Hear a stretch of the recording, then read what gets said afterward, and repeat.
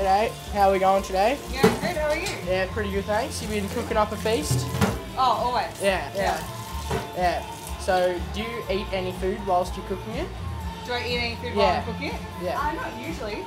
I drink coffee though. Oh. Is that alright? Yeah, that's Yeah. fantastic. It's pretty hot back here.